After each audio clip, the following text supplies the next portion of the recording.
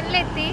ഇനി ഞങ്ങൾ പുറത്തിറങ്ങി കുറച്ച് ഭക്ഷണം കഴിച്ച് പുതിയ പെട്ടിയൊക്കെ മേടിച്ച് റൂമിലേക്ക് പോകും. യാ ടാറ്റാ